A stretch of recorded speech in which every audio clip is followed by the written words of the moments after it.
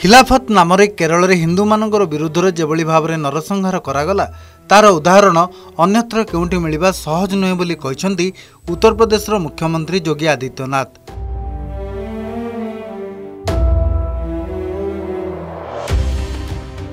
ମୋପଲା ହିନ୍ଦୁ ଜନସଂହାରର ଶହେ ବର୍ଷ ପୂର୍ତ୍ତି ଅବସରରେ ଆୟୋଜିତ ଏକ କାର୍ଯ୍ୟକ୍ରମରେ ଯୋଗଦେଇ ଏହା କହିଛନ୍ତି ଯୋଗୀ ଆଦିତ୍ୟନାଥ।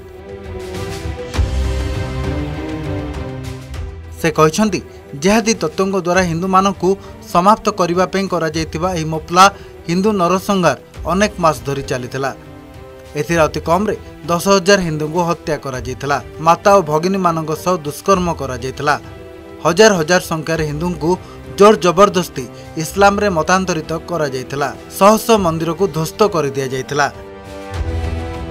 ଯୋଗୀ ଆଦିତ୍ୟନାଥ କହିଛନ୍ତି କମ୍ୟୁନିଷ୍ଟ ଐତିହାସିକମାନେ ବାସ୍ତବିକତାକୁ ଲୁଚାଇ ସେକୁଲାରିଜିମ୍ ନାମରେ ମୋପଲା ନରସଂହାରକୁ କୃଷି ବିଦ୍ରୋହ ବୋଲି ପ୍ରଚାରିତ କରିଥିଲେ ନରସଂହାରର ପିସାଚମାନଙ୍କୁ ଏହି ବାମପନ୍ଥୀ ଐତିହାସିକମାନେ ସଂଗ୍ରାମୀ ବୋଲି କହି ପ୍ରତାରିତ କରିଆସିଛନ୍ତି ସବୁଠାରୁ ବଡ଼ ଦୁର୍ଭାଗ୍ୟ କଥା ଏହି ମୋପଲା ନରସଂହାରକାରୀଙ୍କୁ ସ୍ୱାଧୀନତା ସଂଗ୍ରାମୀ ବୋଲି ଉଲ୍ଲେଖ କରି ସେମାନଙ୍କୁ ପେନ୍ସନ୍ ଦିଆଯାଇ ଆସୁଛି ଯୋଗୀ ଆଦିତ୍ୟନାଥ କହିଛନ୍ତି ସେ ତୁଷ୍ଟିକରଣ କାରଣରୁ ଇତିହାସକୁ ବଦଳାଇ ଦିଆଗଲା ଯାହାକୁ ତତ୍କାଳୀନ ପ୍ରମୁଖ ନେତାମାନଙ୍କର ପୃଷ୍ଠପୋଷକତା ଥିଲା। ବାବା ସାହେବ ଆମ୍ବେଦକର ହୁଅନ୍ତୁ ବା ସ୍ୱାତନ୍ତ୍ର ବୀର ବିନାୟକ ଦାମୋଦର ସାବରକର ହୁଅନ୍ତୁ ସମସ୍ତେ ସେମାନଙ୍କର ପୁସ୍ତକରେ ହିନ୍ଦୁମାନଙ୍କ ପ୍ରତି କରାଯାଇଥିବା ବିଭତ୍ସତାର ଉଲ୍ଲେଖ କରିଛନ୍ତି। ଆଦି ଶଙ୍କରାଚାର୍ଯ୍ୟଙ୍କ ଭୂମିରେ ହିନ୍ଦୁମାନଙ୍କୁ ରକ୍ଷା କରିବାକୁ ସେତେବେଳେ ଗୋରଖନାଥଙ୍କ ଅନୁଗାମୀମାନେ ମାଲାବାଡ଼ ଯାଇଥିଲେ। ମୋପଲାର ହିନ୍ଦୁ ଜନସଂହାର କେତେ ଭୟାବହ ଥିଲା ତାହା ଆପଣମାନେ ଭୀମରାଓ ଆମ୍ବେଦକରଙ୍କ ଦ୍ୱାରା ଲେଖାଯାଇଥିବା ପୁସ୍ତକରୁ ଅନୁମାନ କରିପାରିବେ। ଡକ୍ଟର ଆମ୍ବେଦକର ନିଜର ପୁସ୍ତକ Pakistan or the partition of ଇଣ୍ଡିଆରେ ମୋପଲା ବିଷୟରେ ଉଲ୍ଲେଖ କରିଛନ୍ତି।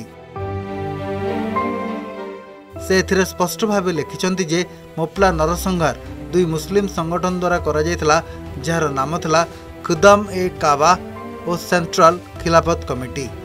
ସେମାନେ ଏହାକୁ ଆରମ୍ଭ କରାଇଥିଲେ। ଡକ୍ଟର ଆମ୍ବେଦକର ଲେଖିଛନ୍ତି ମୋପଲା ମୁସଲମାନମାନେ ମାଲାବାର ହିନ୍ଦୁମାନଙ୍କ ସହ ଯାହା କଲେ ତାହା ବିସ୍ମିତ କରିବା ଭଳି ଥିଲା। ମୋପଲାମାନଙ୍କ ହାତରେ ମାଲାବାର ହିନ୍ଦୁମାନଙ୍କ ପ୍ରତି ଭୟଙ୍କର କାମ କରାଗଲା। ନରସଂହାର ଜୋର ଜବରଦସ୍ତି ମତାନ୍ତରଣ ମନ୍ଦିରକୁ ଧ୍ୱଂସ କରିବା ମହିଳାମାନଙ୍କ ସହ ଅପରାଧ ଗର୍ଭବତୀ ମହିଳାମାନଙ୍କର ପେଟ କାଟିଦେବା ଆଦି ଘଟଣା ସବୁ ହୋଇଥିଲା। ହିନ୍ଦୁମାନଙ୍କ ସହ ସମସ୍ତେ କ୍ରୂର ଓ ବର୍ବରତା ହୋଇଥିଲେ। ମୋପଲା ମୁସଲମାନମାନେ ହିନ୍ଦୁମାନଙ୍କ ସହ ସେନା ସେଠାରେ ନ ପହଞ୍ଚିଲା ଯାଏ ଏପରି ବର୍ବରତା ଜାରି ରଖିଥିଲେ। Bureau report Argus news.